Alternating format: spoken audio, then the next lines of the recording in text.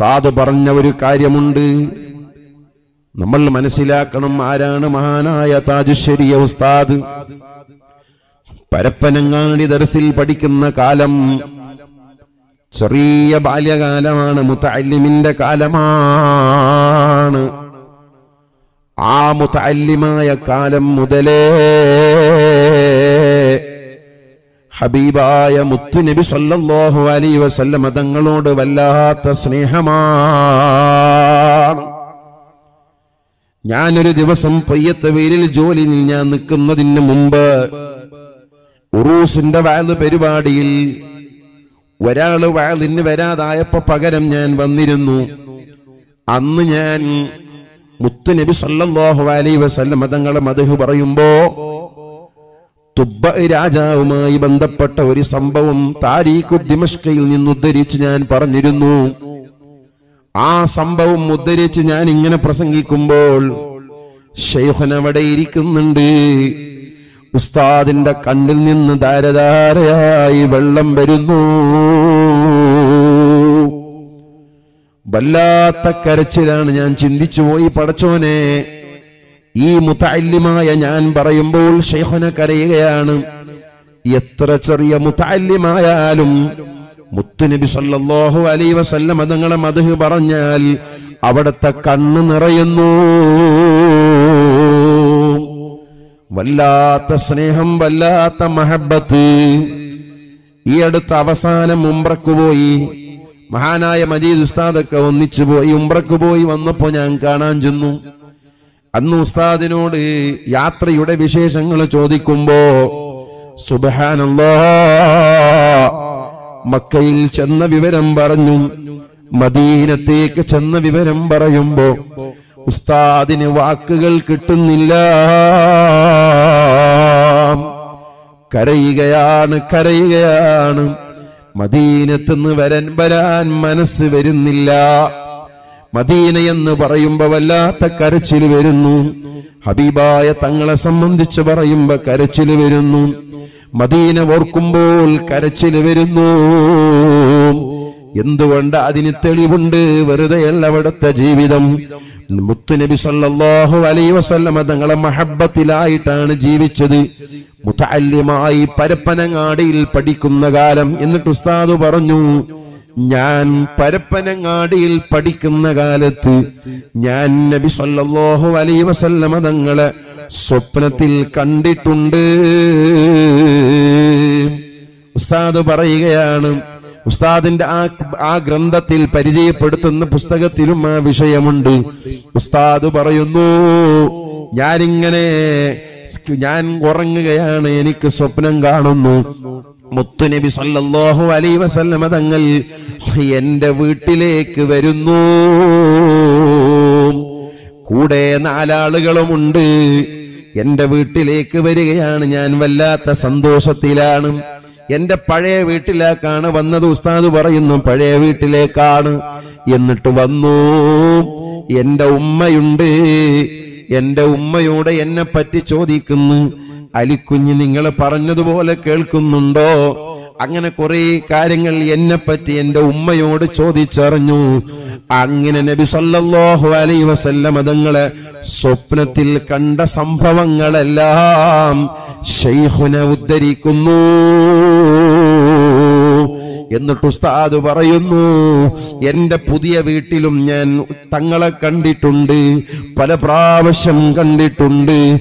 ഓ മിനിങ്ങളെ ആരെയാണ് പറയുന്നത്? ആരെ പറ്റിയാണ് പറയുന്നത്? ലോകത്തിന്റെ നേതാവായ മുഹമ്മദുർ റസൂലുള്ളാഹി. സ്വല്ലല്ലാഹു അലൈഹി വസല്ലമ തങ്ങളെ സ്വപ്നത്തിൽ കണ്ട കഥകൾ ആ സംഭവങ്ങൾ എത്ര അഭിമാനത്തോടെ എത്ര സന്തോഷത്തോടെ എടുത്തു പറയുന്നു. അതവിടത്തെ സംശുദ്ധമായ ജീവിതത്തിന്റെ പരിശുദ്ധമായ ജീവിതത്തിന്റെ ഒരു ഭാഗമല്ലേ?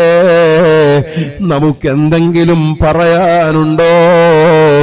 ആ മഹാന്റെ ജീവിതം അത്രയും നിഷ്കളങ്കമായ ജീവിതം അത്രയും പരിശുദ്ധമായ ജീവിതം അത്രയും ആ നിലയ്ക്ക് മഹബത്തിന്റെ ജീവിതം നമുക്കിടയിൽ കാണിച്ച് ജീവിച്ചില്ലേ?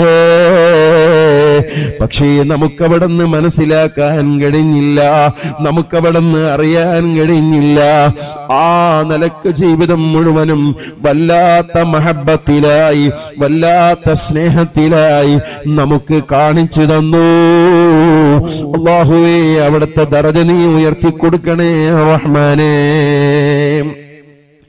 ജാഫർ ഉസ്താദ് പറഞ്ഞതുപോലെ അവിടുത്തെ മരണം. സുബാനല്ലോ നേരത്തെ മഹാനായ തങ്ങളവറുകളും അവിടെ വന്നിരുന്നു. വളരെ സന്തോഷമാണ് ആ പൂമുഖം കാണുമ്പോ പുഞ്ചിരിച്ചുകൊണ്ട് കിടക്കുകയാണ്. പ്രശോഭിച്ച് കണ്ട് കിടക്കുകയാണ്. അവരൊക്കെ റബ്ബിലേക്ക് വളരെ സന്തോഷത്തോടെ ചെന്നു. വല്ലാത്ത ആഗ്രഹിച്ചിരുന്നൊരു കാര്യമാണ്. അവിടുത്തെ ദ്വായിൽ എപ്പോഴും പൊട്ടിക്കരഞ്ഞുകൊണ്ട് പറഞ്ഞിരുന്ന കാര്യമാണ് മരണത്തെക്കുറിച്ച്. ആ നിലക്കുള്ള മരണം തന്നെ കിട്ടിയെന്ന് അവിടുത്തെ മുഖം കാണുമ്പോൾ നമുക്ക് മനസ്സിലാക്കാൻ കഴിയുന്നു. അതുകൊണ്ട് മുഅ്മിനീങ്ങളെ ആ ഷെയ്ഹുന നമ്മൾ വലിയ ഭാഗ്യവാന്മാരാണ്. നമ്മുടെ ഈ നാടിന് നേതൃത്വം നൽകാൻ അവിടുത്തെ പൊരുത്തം ലഭിക്കാൻ അവിടുന്ന് കാളിയായി നമുക്ക് ഈ നേതൃത്വം നൽകാൻ നമ്മുടെ നാട്ടിൽ മുദരിസായി സേവനം ചെയ്യാൻ അവിടുത്തെ ആ വലിയ ഇൽമും അതുകൊണ്ടുള്ള നഷ്ടം നമുക്ക് ലഭിക്കാൻ കഴിഞ്ഞു എന്നുള്ളത് അള്ളാഹു നമുക്ക് നൽകിയ വലിയ ഒരു ഭാഗ്യമാണ് കേട്ടോ. അൻപത്തിരണ്ട് കൊല്ലങ്ങൾക്ക് മുമ്പ് ബഹുമാനപ്പെട്ട ഉസ്താദ് അവറുകൾ കുമ്പൂരിൽ മുദരിസായ കാലം ആ കാലത്താണ് പയ്യത്ത് ബൈര് ജമാഅത്തിൽ നിന്ന് ഉത്തരവാദപ്പെട്ട ആളുകൾ ഷെയ്ഖുനെ വായതിന് വേണ്ടി ക്ഷണിക്കാൻ ചെല്ലുന്നു. അങ്ങനെ ഉസ്താദ് അവർകൾ പറഞ്ഞു ഞാൻ ദർസ് മുടങ്ങുന്ന രൂപത്തിൽ വയലിന് വരാറില്ല. രണ്ട് ദിവസത്തെ വയലിന് വേണ്ടി വ്യാഴാഴ്ചയും വെള്ളിയാഴ്ചയും ദിവസം കൊടുത്തു. അന്ന് ദർസ് ലീവാണല്ലോ. അങ്ങനെ വ്യാഴാഴ്ച അസ്തമിച്ച വെള്ളിയാഴ്ച രാത്രിയും വെള്ളി അസ്തമിച്ച ശനിയാഴ്ച രാത്രിയുമാണ് വയത് വ്യാഴാഴ്ച വയലിന് വരുമ്പോ ഉസ്താദ് വിശദീകരിക്കുകയാണ്. ഒരു ചെറിയ ഓടിട്ട ഒരു പള്ളി ആ പള്ളിയിൽ അതാ രണ്ട് ഗ്യാസ് ലൈറ്റ് ഇങ്ങനെ കത്തിച്ച് നമ്മൾ പഴയ കാലത്ത് നമുക്കറിയാമല്ലോ ഗ്യാസ് ലൈറ്റ്. ആ ഗ്യാസ് ലൈറ്റ് ഒന്നിങ്ങനെ കത്തിച്ച് തൂക്കിയിട്ടുണ്ട് വയലിന് വരുമ്പോ. അങ്ങനെ ഉസ്താദ് വയൽ തുടങ്ങി. ഒന്നാമത്തെ ദിവസം ഉസ്താദിന്റെ വയൽ ഇൽമിനെ കുറിച്ചാണ്. ഇൽമിന്റെ പ്രാധാന്യത്തെ കുറിച്ചാണ് ദർസിനെ കുറിച്ചാണ്. അങ്ങനെ നല്ല നിലക്കന്നു വാഴ ഇൽമിനെ പറ്റി പറഞ്ഞു ദർസിനെ സംബന്ധിച്ചു പറഞ്ഞു. പിറ്റേന്നും വയലുണ്ടു. അങ്ങനെ അവിടെ നിന്ന് ജുമാക്കും അവിടെ സംബന്ധിച്ചു.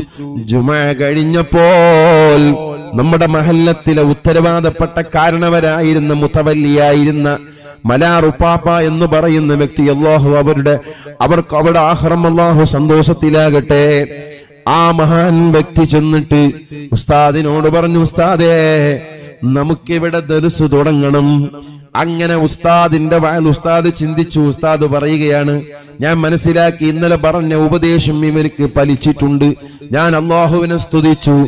അങ്ങനെ ദർസ് തുടങ്ങാൻ വേണ്ടി അവർ തീരുമാനമെടുത്തു. അന്നേത്തെ അന്നേ രണ്ടാമത്തെ ദിവസം ദർസ് നടത്തുന്നതിനെ കുറിച്ചുള്ള കാര്യങ്ങളാണ്. അങ്ങനെ അന്ന് തന്നെ ദർസ് നടത്തി ദർസ് തുടങ്ങാൻ വേണ്ടി തീരുമാനിച്ചു. അഞ്ച് മുത്താലിമ്യങ്ങൾ ഉൾക്കൊള്ളുന്ന ഒരു മുദരിസിനെ ഉസ്താദ് തന്നെ നിയമിച്ചു കൊടുത്തു. അതിനുശേഷം ഇന്ന് വരെ വയലിലേക്ക് മുദരിസിനെ വെക്കുന്നത് ഉസ്താദാണ്. ആ മുദരിസ് പോകുന്നത് ഉസ്താദിനോട് പറഞ്ഞിട്ടാണ്. ഉസ്താദിന്റെ നിയന്ത്രണമാണ് ഇന്നുവരെ പത്തൊൻപത് കൊല്ലങ്ങൾക്ക് മുമ്പ് വരെ ഉസ്താദാണ് ഇവിടെ മുദരിസിനെ നിയമിക്കുന്നതും അവർ പോകുന്നതും ഉസ്താദിന്റെ അറിവോടുകൂടിയാണ്. എന്നിട്ടോ പത്ത് പതിനെട്ട് പത്തൊമ്പത് കൊല്ലം മുമ്പ് ഒരു മുദരിസ് പോയപ്പോ നമ്മുടെ കമ്മറ്റിയിൽപ്പെട്ട ആളുകൾ പോയി പറഞ്ഞു അത്ര ഉസ്താദ് പറഞ്ഞതാണ്. ഇനി ഉസ്താദ് ഞങ്ങൾക്ക് മുദരിസിനെ പറഞ്ഞേക്കണ്ട. ഉസ്താദ് തന്നെ ഇവിടെ വന്നാ മതി.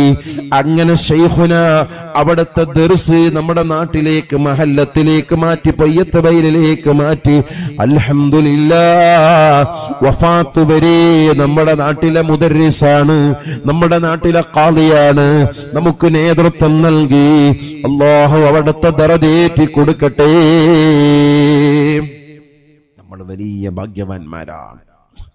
ആ ദർസ് ഇന്നും മഹാനായ ഒഫാത്തു വരെ ഷെയ്ഖനയുടെ ഒഫാത്തു വരെ ഉസ്താദിന്റെ ദർസ് ഇവിടെ നിലനിന്നു. നമ്മൾ മനസ്സിലാക്കണം ആ ഉസ്താദിന്റെ നേതൃത്വം നമുക്കുണ്ടായത് വലിയൊരു ഭാഗ്യമാണ്. എന്തൊരു സൗമ്യതയുടെ സംസാരം. മഹതിയായ മണവാട്ടി ബീബി റളിയല്ലാഹു വൻഹ അവരുമായുള്ള ബന്ധം. ചെറിയ ബന്ധമൊന്നുമല്ല വലിയ ബന്ധമാണ് അവിടെ കിടക്കുന്ന മഹതിയുമായി ഷെയ്ഹുനാക്കുള്ളത് നമ്മൾ പോലും ചിലപ്പോൾ നമ്മൾ പള്ളിയിൽ വന്നവിടുന്ന് തിരിച്ചു പോകുമ്പോൾ ഞമ്മ നേരെ ഇറങ്ങി കാറിൽ കയറിട്ട് നമ്മൾ പോവും. ഷെയ്ഖുൻ അങ്ങനെയല്ല. ഉസ്താദ് പൊയ്യത്തുവിലേക്ക് വന്നാൽ അവിടുന്ന് വന്നിട്ട് പോകുമ്പോൾ മഖാമിൽ കയറി സിയാറത്ത് ചെയ്യാതെ ഉസ്താദ് പോവുകയില്ല. വരുമ്പോഴും ഒന്ന് അവിടുന്ന് സലാം പറഞ്ഞു. പോകുമ്പോൾ മഖാമിൽ കയറി സിയാറത്ത് ചെയ്തിട്ടല്ലാതെ ഉസ്താദ് പോവുകയില്ല. അതവിടുത്തെ ജീവിതത്തിൽ ഒരു ശൈലിയാണ് ഉസ്താദിന്റെ ഒരു സ്വഭാവമാണ്. മണവാട്ടി ഉമ്മയുമായുള്ള ബന്ധം അങ്ങനത്തെ ബന്ധമാണ്. ഒരുപാട് അനുഭവങ്ങൾ ഉസ്താദ് പറയാറുണ്ട്. മണവാട്ടി ഉമ്മയുടെ ഒരു ചരിത്രം ശൈഹന പറഞ്ഞിട്ടുണ്ട്. ബഹുമാനപ്പെട്ട മാണിക്കുത്ത് ഉസ്താദ് അള്ളാഹു അടുത്ത ദറജീറ്റി കൊടുക്കുമാറാകട്ടെ. മാണിക്കുത്ത് ഉസ്താദ് ഒരു ദിവസം എന്തോ ഒരു വിഷയം കമ്മിറ്റിക്കാരോട് പറഞ്ഞപ്പോൾ ഉസ്താദിന് എന്തോ ഒരു വിഷമായി മാണിക്കത്ത് ഉസ്താദിന് മനസ്സിൽ വല്ലാത്തൊരു ബേജാറായി. ബേജാറായി അങ്ങനെ വിഷമത്തിലിരിക്കുമ്പോൾ രാത്രി സ്വപ്നം കണ്ടു. സ്വപ്നത്തിൽ പറഞ്ഞു നിങ്ങൾ എന്തിനാണ് ആ കാര്യം പറയാൻ പോയത്? ഞാൻ ആ കാര്യം മുഴുവൻ അലിക്കുഞ്ഞു മുസ്ലിയാരെ ഏൽപ്പിച്ചിട്ടുണ്ടല്ലോ. നിങ്ങൾ എന്തിനാണ് പറയാൻ പോയത്? നിങ്ങൾക്ക് എന്തെങ്കിലും ആവശ്യമുണ്ടെങ്കിൽ നിങ്ങൾ അലിക്കുഞ്ഞു മുസ്ലിയാരോട് പറഞ്ഞാൽ മതി. മാണിക്കുത്ത് സാഹിബ് എന്ന് മണവാട്ടി ഉമ്മയുടെ നിർദ്ദേശം എനിക്ക് കിട്ടി. ഞാൻ അങ്ങനെ അലിക്കുഞ്ഞു ഉസ്താദിനോട് പറഞ്ഞു. ഉസ്താദ് ആ കാര്യം കമ്മിറ്റിയിൽ പറഞ്ഞു. കാര്യം സോൾവ് ആയി ഇത് മാണിക്കത്ത് ഉസ്താദ് എന്നോട് പറഞ്ഞതാണ് എന്ന് ബഹുമാനപ്പെട്ട അലിക്കുഞ്ഞു ഉസ്താദ് പറയുന്നത് ഞാൻ കേട്ടു. എന്നോട് പറഞ്ഞിട്ടുണ്ട്. അപ്പൊ ഇങ്ങനെയുള്ള ബന്ധം ഇങ്ങനെയുള്ള ഒരുപാട് ബന്ധങ്ങൾ മഹാനായ ഷെയ്ഖുനാക്കുണ്ട് അവിടുത്തെ ജീവിതം വലിയ ഒരു സൂക്ഷ്മതയുടെ അതാണ് ഏറ്റവും വലിയ അള്ളാഹുവിന്റെ ഔലിയാക്കൾ എന്ന് പറഞ്ഞാൽ ആരാണ്? ഔലിയാക്കളുടെ ജീവിതം തക്വയാണ് കറാമത്തുകൾ കുറെ കാണുന്നത് അവരുടെ വിലായത്തിന്റെ മാനദണ്ഡം അല്ല. ബഹുമാനപ്പെട്ട ഇമാം ഷാറാനി റളിയല്ലാഹു എന്ന് പറഞ്ഞു ഒരാൾ ഇങ്ങനെ വെള്ളത്തിന്റെ മേലെ ഭൂമിയുടെ മേലെ നടക്കും പോലെ ഒരാൾ വെള്ളത്തിന്റെ മേലെ നടക്കുന്നു. പക്ഷിയെപ്പോലെ ഒരാൾ ഇങ്ങനെ പറന്നു പോകുന്നു. നിങ്ങൾ അയാളെ കുറിച്ച് വലിയാണെന്നോ ഷെയ്ഖാണെന്നോ നിങ്ങൾ ധരിക്കണ്ട. അത്ഭുതങ്ങൾ പലതും കാണാം. പക്ഷേ അവരുടെ ജീവിതം തക്കവയിൽ അധിഷ്ഠിതമായ ജീവിതമാണോ? അതാണ് അതിന്റെ മാനദണ്ഡം. ശരീരത്തനുസരിച്ചുള്ള ജീവിതമാണ് അവരുടെ മാനദണ്ഡം വിലായത്തിന്റെ മാനദണ്ഡം. മഹാനായ ഷെയ്ഖിയുടെ ജീവിതം അതാണ്. ഞാൻ അതാ തുടക്കത്തിൽ പറഞ്ഞു ഷാഫി ഇമാം റളിയല്ലാഹു അൻഹു പറഞ്ഞു അള്ളാഹുവിനിക്ക് പണ്ഡിതന്മാർ ഔലിയാക്കൾ അല്ലെങ്കിൽ വേറെ ഔലിയാക്കളില്ല. ആലിമീങ്ങളുടെ ജീവിതം ഇൽമുകൊണ്ട് ജോലിയാകുന്നത് ഇൽമുകൊണ്ട് ശുഗലാകുന്നത് ഇൽമ പഠിക്കുന്നതും പഠിപ്പിക്കുന്നതും അതാണ് ഏറ്റവും വലിയ കറാമത്ത്. മരണം വരെ ഇൽമിന്റെ രംഗത്ത് സേവനം ചെയ്യാൻ കഴിഞ്ഞത് അതിനേക്കാൾ വലിയ കറാമത്ത് വേറെയില്ല. നോക്കൂ നിങ്ങൾ ഉസ്താദിന്റെ ശിഷ്യന്മാർ എത്ര മുദരിസുമാരുണ്ട് എത്ര ഹതീബുമാരുണ്ട് എത്ര മാലിന്യങ്ങളുണ്ട് അവരെല്ലാം ഇൽമ പറയുമ്പോഴും പഠിപ്പിക്കുമ്പോഴുമെല്ലാം അതിന്റെ ഒരംശം മഹാനായ ഷെയ്ഖനയുടെ ഹലറത്തിലേക്ക് ലഭിക്കുന്നു. നബി സല്ലല്ലാഹു അലൈഹി വസല്ലമ തങ്ങൾ പറഞ്ഞതാണ് ഒരാൾ മരിച്ചാൽ അവന്റെ എല്ലാ അമലും മുറിയുന്നു. മൂന്ന് കാര്യം മുറിയുന്നില്ല. മുറിയാത്ത അമലുകളിൽപ്പെട്ട ഒരു അമലാണ് ഇൽമു ഉപകാരമുള്ള ഇൽമാണ് ആ ഉപകാരമുള്ള ഇൽമ അത് മുറിയുന്നില്ല. മരിച്ചാലും അവന്റെ കബറിലേക്ക് അവരുടെ ഹദറത്തിലേക്ക് അത് കിട്ടിക്കൊണ്ടേയിരിക്കുന്നു. ഷെയ്ഖുനാക്ക് ഇനി ശിഷ്യന്മാരെ ചൊല്ലിക്കൊടുക്കുന്ന ഇൽമിന്റെ പ്രതിഫലം മാത്രം മതി. വേറെ ഒന്നും ആവശ്യമില്ല. അത്രയും ശിഷ്യന്മാരും ഇൽമിയായ രംഗത്ത് സേവനം ചെയ്യുന്നവരുമുണ്ട്. അതിന്റെ ഒരംശം ഷെയ്ഖുനാന്റെ ഹദറത്തിലേക്ക് എപ്പോഴും കിട്ടിക്കൊണ്ടേയിരിക്കുന്നു. അള്ളാഹുവേ അവിടുത്തെ ദറജ നീ എത്തിക്കൊടുക്കണേ കൊടുക്കണേ റഹ്മാൻ